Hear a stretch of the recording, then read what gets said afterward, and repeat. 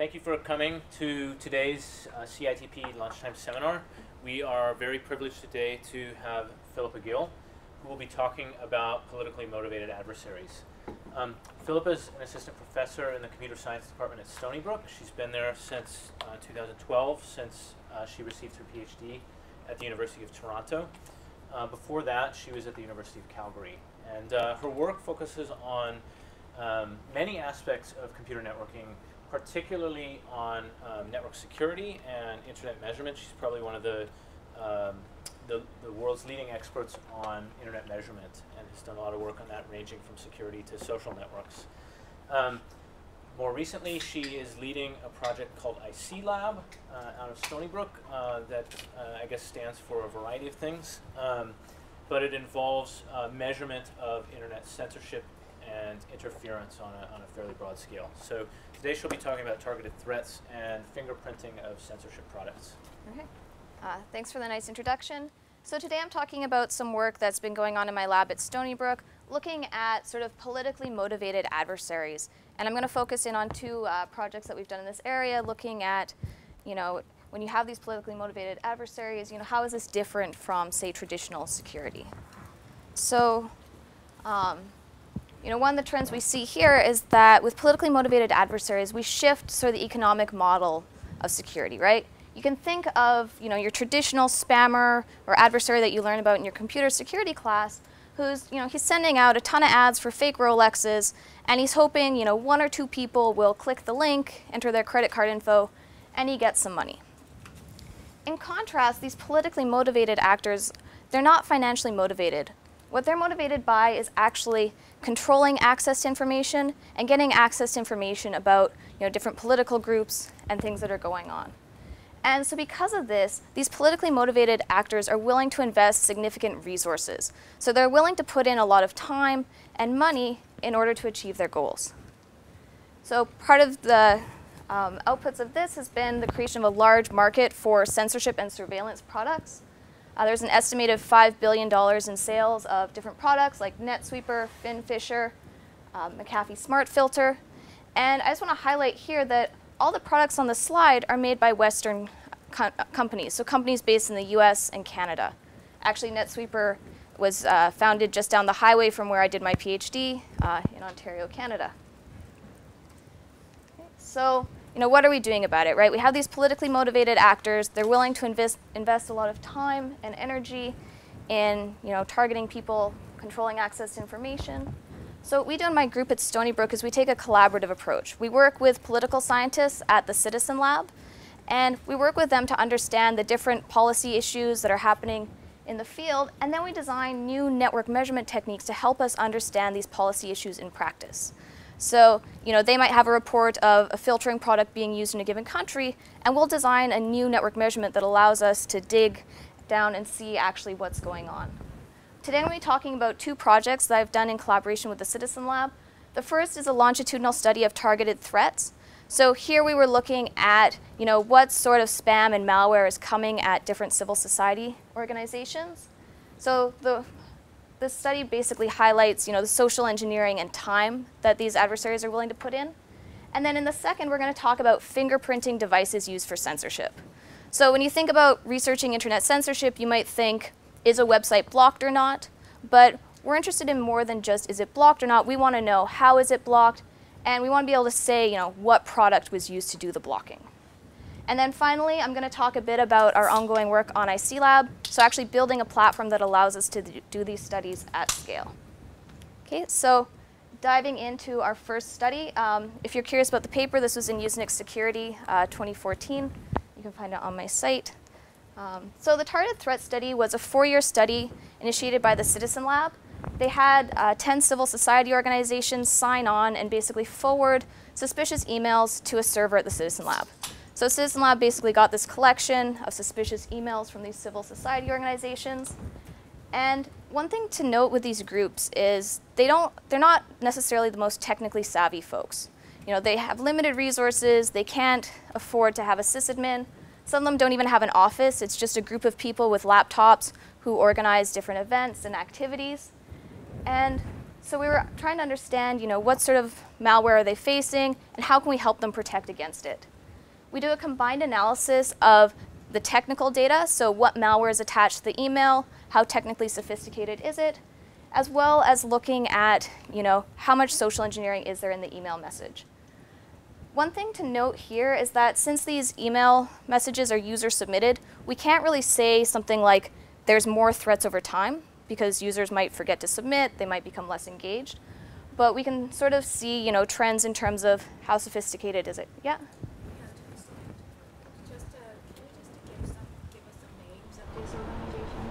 Uh, so I can't give their names because they're anonymized, but yeah, you can think about these as being groups that work on, say, uh, Tibetan human rights. Uh,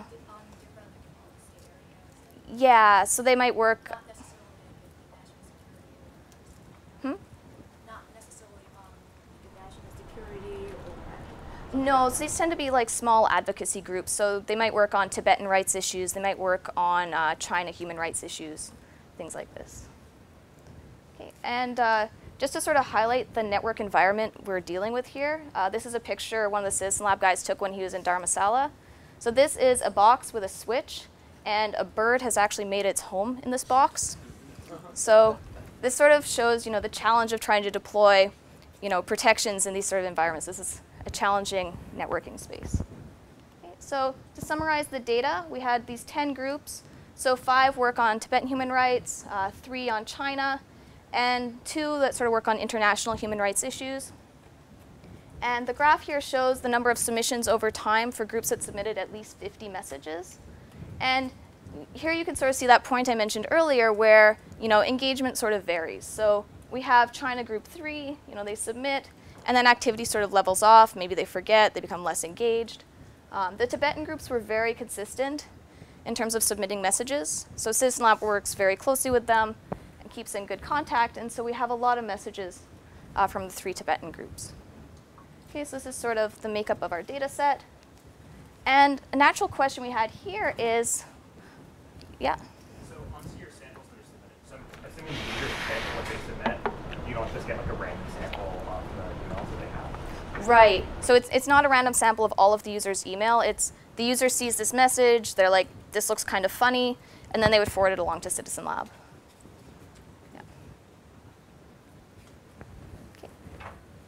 So we had, you know, this database of email messages and malware, and we want to understand, you know, how well are the people and organizations being targeted? So how well is the social engineering on these messages? And we also want to understand how technically advanced is the malware? Is this the latest and greatest? Is this run-of-the-mill? You know, how technically advanced are these actors? So in order to uh, look at these different aspects, we come up with what we call the targeted threat index. And the idea is to combine quantifying the social engineering with the technical sophistication. So we basically have what we call uh, social engineering uh, sophistication value, multiply it by the technical sophistication, and we get this index that we call the targeted threat index. It's sort of based on this uh, common vulnerability scoring system, which is a standard malware rating system that one of our collaborators was very uh, familiar with. So, you know, we've got these two values. How are we going to compute them? Well, the first is a social engineering base value. So it ranges from 0 to 5. You know, 0 would be your fake Rolex ad that comes. It's not targeted at all. And 5 is, is highly personalized. It might have data that's specific to these organizations, things that only their close collaborators would know. And so you might be wondering, well, how do we go from an email to one of these scores, right? Email to 0 to 5. We basically use a social science technique called content coding. I guess maybe there's some social scientists in the room who are more familiar with this than my usual audience. Um, and basically, two people from the Citizen Lab code each message into one of these categories, and they check to make sure that they're coding this consistently, and they have sort of a criteria of how you go from this email to a one, a two, three, and so on. Uh, so they did the two reviewers to make sure the coding was consistent. They also coded them into themes, so if it's based around a certain country or ethnic group. Okay, so let's see some examples. Um, the first one here, this, this would get a score of 1. So here we've got, you know, it's not your Rolex ad, um, but it's not necessarily well customized, right? The sender, World FDC, the group was like, what is this? This is not something we know. Just says, please reply. There's no real message. just trying to get people to open the attachment. So we go up to score two, things get a bit more interesting. So, you know, the name is still unknown. Saran Nima, they're like, who is this? Um, but, you know, we actually have a subject line, you know, related to Tibet, talking about a monk uh, immolation. It's got attachments and trying to get people to actually open them. You know, and as we go up these scores, it gets more sophisticated, right? So here, now it's actually spoofing being from a legitimate sender. So this uh, Palden Sangpo fellow is actually a real person. Here, you know, it's actually written a whole message. It's copied the signature from this guy's email. And so now this is a very carefully crafted message, right? I mean, this is not, you know, your fly-by-night spammer. Um, you know, similarly for score of four, so now again, it's spoofing being a person. It's got sort of a friendly greeting. It says, you know, Happy Tib Losar, which is uh, Happy New Year. And again, you know, trying to get them to open an Excel file or a Word document. Um, the, the highest score, so there was a few emails that got this score of five, and I actually can't even show it um, because I can't really anonymize it. Um, and this happened with China Group 3, where they got an email pretending to be from a funder, and the email actually referred to a meeting that was happening the following week. And basically, only the group and the funder would have known about this. And so you know, possibly, you know, this actor is like installed something on their computer, it's able to access data that normal people wouldn't be able to access. Yeah. Why, why did they send this email to you? Why did they think it was suspicious? So I believe they had a call with the funder and um, sort of realized that the funder hadn't actually sent this message. Um, but yeah, I mean, so another thing too is this sort of message is probably really underrepresented in our sample because if they don't spot it, we're not going to see it. Um, one of the things that they're working on is actually putting network intrusion detection in these networks so that we could actually watch the network traffic and see if we're missing malware. Um, so that would give us sort of a more complete view, but that's still in progress. Okay. So these are the five values. Well, you know, punchline here, how sophisticated are these emails? And we can see that, um, you know, some of these groups are quite well targeted. So the Tibetan groups, we see a lot of scores of around three, so they're actually faking being from a legitimate sender. They're having you know appropriate content in them. Oops. Um, but I mean, we also see strange things like this, where China Group One has a spike in this targeted value, targeting value of one. Um, part of the reason for this was China Group One actually just hooked their spam filter to send messages. So some of their messages were the targeted stuff that we wanted. Uh, the other stuff was from their spam filter, so that was a bit less relevant for us. So, you know, most of the actual stuff tends to be around this score of three. So, you know, we've got our social engineering value. We also want to rate how technically sophisticated the malware is. So this value ranges from one to two. And the focus here isn't really on the functionality of the malware. All this stuff basically does the same thing. They're remote access tools. You know, they get on your machine, they look at the data. It's all basically the same function. And how they differentiate themselves is really how well they hide once they're on these machines. And you know, the reason this is so important is it allows them to stay hidden longer, they can get more data. Okay, so we have these score, um, how we go from a piece of malware to one of these scores. It's sort of a combination of analysis, uh, file analysis, so actually looking at the binary and figuring out what sort of packing method is used. Uh, static analysis, so using some standard tools to analyze the code and figure out, you know, how is it trying to hide itself. Also dynamic analysis, so put the malware on a virtual machine and, you know, look at the network traffic and see sort of what it's doing. Okay, so that's our technical sophistication multiplier. And the interesting thing here, right, so if you remember that value goes from 1 to 2, but you know, the, the highest technical sophistication we saw was actually only 1.5. So you know, this is really not the latest and greatest in terms of packing technology. And you know, so the moral of the story, the technical sophistication is not that high. Um, and you know, Citizen Lab has seen malware with higher technical sophistication values, but it's not really what's being used in these emails. They're sort of just sending, you know, run-of-the-mill malware here. So, you know, now we want to combine these scores and look at uh, this, you know, targeted threat index. And what this score helps us do is highlight the important threats. So if we just look at the malware that has the highest technical sophistication, so we see you know, different families of malware. Um, if you don't spend your life looking at malware, that's cool. These are basically, you know, run-of-the-mill standard things you would find on, you know, someone's Windows machine. This is not necessarily your politically motivated actor or a Mac, whatever, equal opportunity. Um, but if we look at the malware that's getting the maximum targeted threat index score, we start to see interesting things. So, you know, we see this Ghost Rat, uh, Lurk0, ShadowNet, and these are viruses that were found on, you know, the Tibetan government in exile's machines by the Citizen Lab. And the moral of the story here is that, I mean, this technical sophistication value is only 1.25. Um, you know, they're not really putting effort into technical sophistication, but the targeting is where they're really spending a lot of their time. They're spending time doing the social engineering and crafting the message so that people will actually click on that link, they'll download the file, and they'll be infected. So, you know, the key takeaway here is that these politically motivated actors are spending more time doing the social engineering of these threats because, you know, you can have the fanciest malware, but if the message doesn't look realistic, the person is not going to download it and it's not going to be effective. This also suggests that you know, lower cost education initiatives could be useful. So if you train people to identify these sort of social cues in emails, maybe you can help them avoid some of these threats. Um, also, the Tibetan groups have started doing this sort of uh, detach from attachments campaign. So if you go on YouTube, you can search for this campaign and see videos where they, they walk through different scenarios and tell them, you know, don't click on the link, don't download the file. And, you know, you could imagine if they move to, say, a cloud platform like Google Docs, that might help them because we found that you know, 95% of the malware we saw was just attachments to these emails. So if we could get them to stop using attachments, that might help uh, with the malware. I mean, obviously, as a security researcher, I see, you know, it's an arms race. The malware people might move to clouds, but I mean, for now, if they just stop doing, you know, Word document attachments, it would get them pretty far. Okay, so this was, hmm, yeah.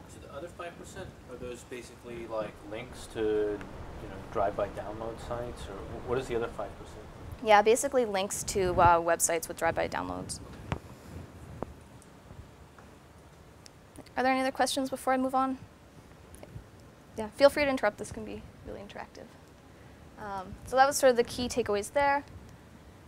So what we highlighted with this longitudinal study was really the time the adversaries are willing to put in in terms of social engineering these messages. And in the next part of the talk, I'm going to discuss sort of the money side, you know, the adversaries who are willing to spend money and buy a product to control access to information. And here we wanted to actually fingerprint specifically which products are being used for censorship. So, you know, filtering products are a dual-use technology, right? You know, if you have an office, maybe you don't want your employees browsing Facebook. If you're a school, maybe you don't want the school children accessing inappropriate content. But you take this same device and you install it on a national backbone ISP, and suddenly it can be used to you know, restrict access to information, it can restrict free speech, you can do surveillance, censorship. And the dual use of these technologies hasn't gone unnoticed. Um, Obama's actually come out and put sanctions in place saying, you know, you can't ship these products to Syria and Iran.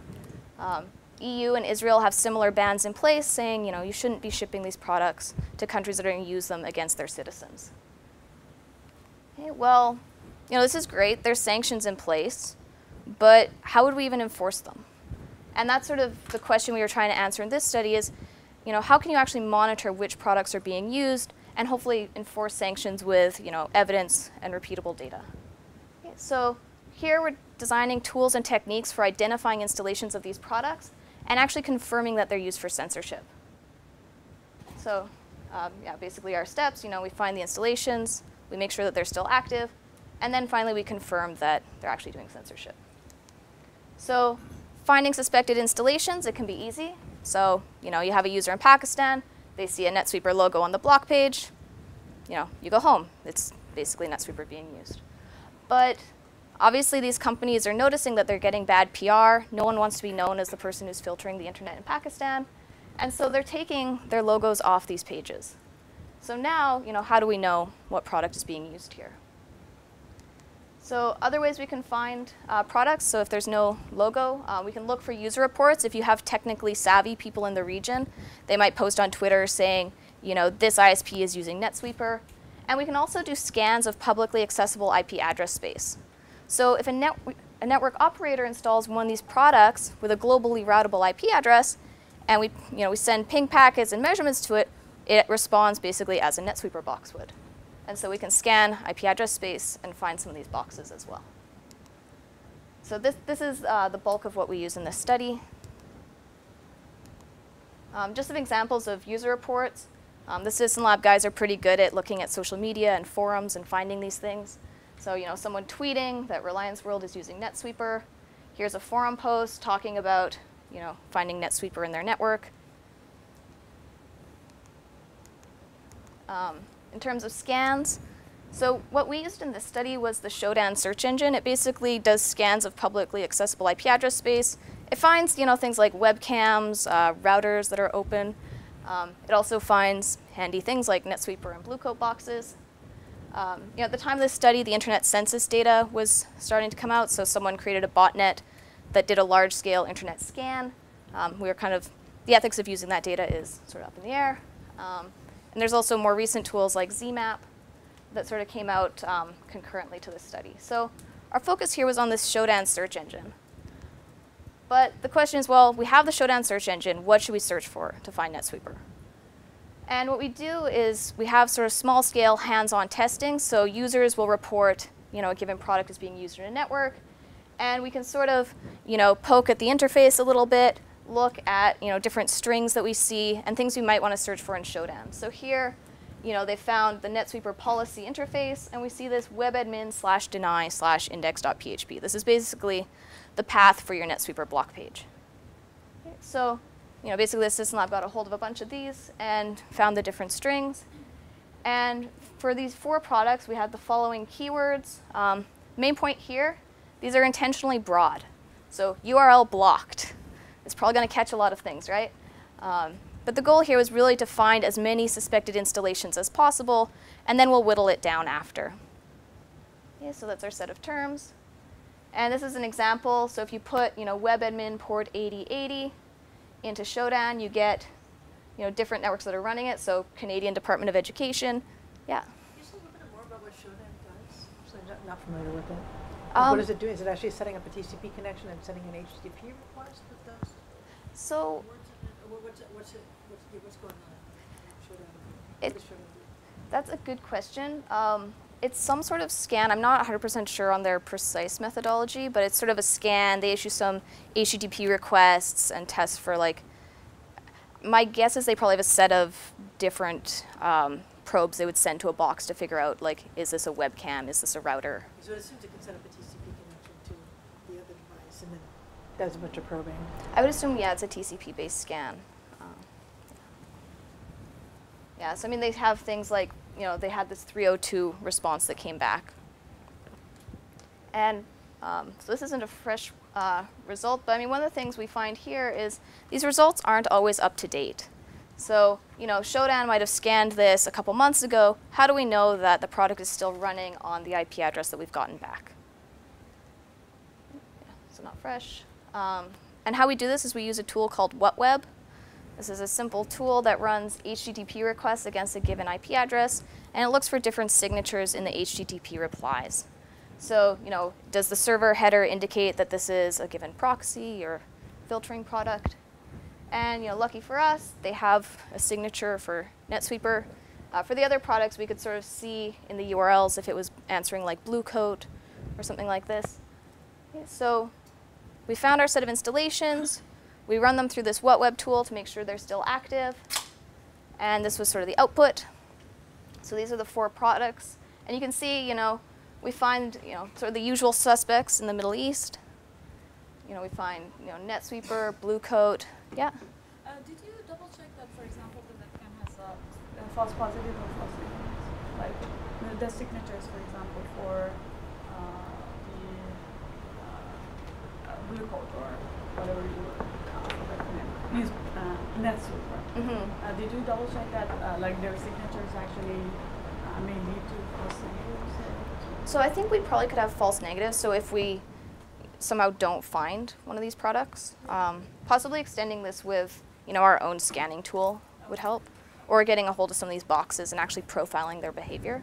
Oh, uh, so ba- basically we um, trust that what uh, that that does. Yeah, so I mean, from the Shodan results, we get like we get this candidate superset. We you know, not necessarily all running the products, and then we use sort of WhatWeb to whittle it down to things that are actually running, say NetSweeper or Blue Coat. Uh, who's maintaining it? Can you one slide back? Who's ma- maintaining what web? Do we have any clue, like, or it's an unknown Uh. I haven't looked at the website in a while. I didn't actually. Yeah, probably can Google it. I was curious about your map. Like, Mhm. um, so for example, I'm wondering about the dots in the U.S. and things. Do you know what organization? I mean, maybe you're coming to this. Some of these might be public libraries Yep, things yep. like that. Okay. Yeah, exactly. So, you know, we have the usual suspects in the Middle East. We have also Australia, Canada, the US. And this sort of comes back to the point that these are dual use products. I mean, to back up a few more slides, even, you know, this is the Canadian Department of Education. It's probably related to schools. If you look at China, there's nothing there. It shows how. Yeah, there's like one smart filter, which I think ended up being in a school or something because China implements their own censorship. Yeah. Yeah. Sorry. hmm Do you have any sense of the comparative strengths and weaknesses of these programs? So, like, what makes NetSweeper attractive for Iran but not for some other? So, you know, they, they offer sort of different functionality. Um, a lot of them give you some sort of uh, website filtering tool where they say we have, you know, X million URLs classified, so that would be one selling feature. Bluecoat gives you a proxy piece of hardware that you can put in your network. Um, you know, obviously they could compete on price. It's sort of a standard, you know, business. They have slightly different offerings. But is there any way to, to, to then map those characteristics to where they're used and, like, make some inferences about what countries prefer what kind of, you know, what kind of filtering? That's a good question. Um, I mean, we haven't really looked so much into that. It's sort of an interesting question about, you know, what, what considerations are important for these censors. And this is something we come up against a lot in our work, which is, you know, what sort of behavior do we assume from these censors? Like, what is the censor willing to do? What are they not willing to do? Um, so it might be interesting to see, like, if there are uh, different features of these products that might make them more attractive in certain areas. Yeah. Do you know, have you or anyone looked at IPv6 and whether or not, you know, something gets a block page through one of these boxes on IPv4, but IPv6 gets through? I mean, there's sort of rumors about that. Yeah, uh, we haven't looked into that, but I've also heard those rumors. Yeah, that'd be interesting. IPv6 is just the new circumvention technology. Even doing the scan is really obviously very difficult. Yeah. Yeah. Yeah, I mean, also, I mean, here we're sort of relying on, you know, network administrators not doing the best job in installing these on publicly routable IP addresses. so ideally, we would, you know, eventually design techniques that don't rely on that. Um, this was sort of, you know, a first cut to get some data about this. Okay, Yeah, so I mean, Nick called out the good point here, which is these are dual use. This isn't all being used for censorship. And so we wanted to actually confirm, you know, is this box being used on the national ISP to do censorship? So how can we do this? Well, you know, we get a tester in the country, they try to access a blocked site. If we're lucky, hey, there's a smart filter logo, we go home. But, you know, as we've seen, these block pages are getting more stealthy. They're not putting logos on the page, they're not putting the product name in the server header for HTTP. And so in this case, how can we pinpoint what product's being used? So what we did in this paper is sort of a cute idea is we leverage the fact that these URL lists are really, you know, the key selling point for these products. They want to advertise that they have millions of URLs classified. And one of the things they do is they actually accept user submissions for websites. So they let you submit websites that maybe should be blocked. So what do we do? Well, we create a set of 10 domains. So these are domains that haven't been used before. Uh, we put the Glype proxy script on them, so now they're hosting a proxy. And we take, so first we check that they're not blocked. So we create some sites, make sure they're accessible. We take half of them and submit them to whatever product we're testing. And we check again, so we have the submitted ones, the ones we didn't submit. And you know, if a given product is being used, we would expect that the sites we submitted would be blocked and the sites we didn't would still be accessible. So that's the basic idea.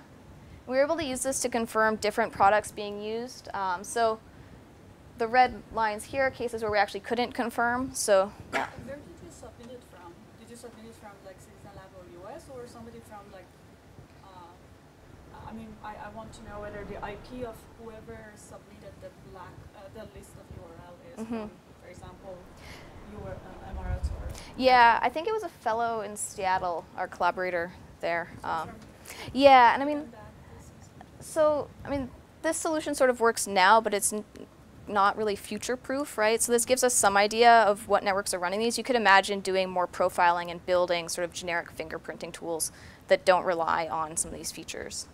Yeah, because I mean, they could just say, hey, this is Citizen Lab submitting the site. Never mind. Um, yeah, so, you know, here we submitted, you know, three sites, they weren't blocked. In the other cases, you know, we submit five sites, and they do end up being blocked. So we're able to confirm, you know, McAfee Smart Filter in Saudi Arabia, UAE, NetSweeper in Qatar, Yemen, and also UAE. And so, you know, we have these confirmed uh, installations. And we wanted to know, well, what are they being used to censor? So we had clients in these countries run through Citizen Lab's test list. And Citizen Lab's URL lists have different categories. So, you know, things like media freedom, human rights, uh, religious criticism. And here we're seeing, you know, Smart Filter and NetSweeper being used to block a lot of these. In Yemen, we see sort of a bit less, but we're still seeing, you know, media freedom, LGBT and minority groups and religions being blocked. And a lot of these categories of speech are actually protected under the UN Declaration of Human Rights. Um, so this is stuff that the UN believes people should be able to access, but these products are being used to stop that. So, um, are there any questions before I move on to the challenges? Yeah. Do you have any way to look at if instead of blocking sites, they were just tracking to see who went to sites or adding some things on to Mm. give cookies or whatever to people who went to the sites? So we didn't see that in this study. Um, when I was looking at Korean data with the Citizen Lab, we saw an interesting thing where um, basically pirated software sites were getting a DNS response for 127.001. So basically looping the user back to their machine. But if they tried to access North Korean sites, they were getting redirected to like one IP address in this one Korean ISP. So in that case, you could probably hypothesize that they want to be tracking the people that are trying to access that sort of content. Um, but we didn't really see that in this case. Okay, so, you know, I presented this sort of cute solution, made it sound quite easy, um, not as easy as it sounds. Well, you know, we need to rely on knowing what content is going to be filtered in this country. So I said we put this proxy script on, we submit the proxy sites. Well, what if the network you want to test isn't blocking proxies? So we had this sort of awkward situation where, you know, a network is blocking pornography. We had to, uh, basically, someone did a Google image search and pulled the first flesh tone photo and, yeah, very quickly took it down. Um, you know, and vendors could change their approach. They might not accept submissions. Um, also, inconsistent blocking, right? You think of censorship as on or off. And, you know, we saw things where the censor would sort of be offline for some period. So in Yemen, they have a limited number of NetSweeper licenses. When too many people are online, then the next users to come online won't be filtered. Um, yeah.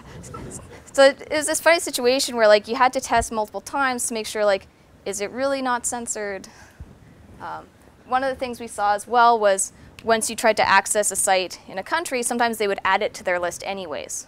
So that initial test to see if the things were accessible was causing them to be added to the list, and the whole thing ends up being blocked. Also, we saw combinations. So we saw a network that had a Bluecoat box in it, but was actually using Smart Filter's URL uh, lists. So they can sort of you know, run these things in pairs. And also coordinating with users and scheduling tests. You know, it's right before the paper deadline. You're calling the guy in Saudi Arabia who's talking to his friend in Qatar, who's hitting en enter on his Python program, and you're really hoping the data comes back, um, but not necessarily. Um, so, you know, there's a lot of manual effort here, a lot of coordination. It's not really sustainable to be running this repeatedly over time if you always need to call your friend and get them to run the program. Okay, so that brings me to sort of the ongoing work I'm doing with IC Lab, and we're trying to address some of these challenges. You know, we want a way of measuring online information controls that makes it easy for people that are in these countries that want to help us out uh, run you know, different sorts of experiments. We wanted to enable repeatable measurements, so measurements that run every day for a long period of time. We want to make specifying and scheduling experiments easy. So a lot of the Citizen Labs work is test these URLs in this country. You know, that's a pretty simple command to support. also facilitating a variety of tests. So there's a lot of really neat network measurement uh, work going on right now in censorship. So different tests we can do to figure out where web proxies are in the network, to figure out if there's a transparent proxy on our path. And we want to be able to support people to specify, you know, very nuanced network measurements on this platform. So it's not just, is this accessible or not? It's actually some very specialized network measurements to figure out how is it blocked, where is it being blocked. And the final point here is we wanted to make this automatable. Um, when I went to the Citizen Lab and you know first chatted with them, they told me sort of their way of detecting censorship is this fellow looks at the web page that came back in Toronto and the web page that came back in the Middle East and says, was it blocked or not? Uh, so one of the things we wanted to have in IC Lab was sort of automated uh, censorship detection. So can we automatically detect block pages, automatically detect injected resets, and all this sort of thing. So just the overview here, basically have clients in the field, uh, Raspberry Pis, um, Android will come at some point. Um, and so we have the control server, so it sends experiments as well as relevant data, so maybe the list of URLs to test to these clients. The clients run the measurement, and they send the results back. Uh, the client here is designed to be very, um, fairly basic in terms of just doing the measurements, and the data comes back, and the analysis is going to happen sort of on the server side. So if you come up with a new block, you know, block page detection technique, you still have the data here, and you can run your technique on the data that's uh, on your server. So you know, the results come back, goes into a database. We have our analysis code that runs, you know, block page detection, the device fingerprinting, and then the output here is, you know, web pages, advocacy, blog posts. Uh, I'm a junior faculty, so hopefully papers too. Um, and in terms of progress, so the client and server are in sort of a limited beta, we've got about 10 volunteers running these right now. Uh, we have hundreds of VPN endpoints. So we can use VPN services to test in regions where it's not necessarily safe to have a person running the measurements. Um, we also have our block page detection algorithm. So this was done with Nick and Ben, was at IMC last year, where we actually created a technique that can automatically identify if a web page is blocked or not. And uh, just some images. So here's the map uh, with the VPN endpoints. And um, my student was excited, so he made a little stack of the Raspberry Pis. So basically, these are the devices that we're handing out to people. And you know, these are volunteers that want to help us measure censorship anyways, so this just makes it easier for them to help with our work. Okay, so uh, with that, I'll wrap up. Uh, you know, a lot of collaboration here. So my group at Stony Brook, a big group of people at Citizen Lab, as well as uh, Nick here at Princeton and some of his students at Georgia Tech too. Thanks.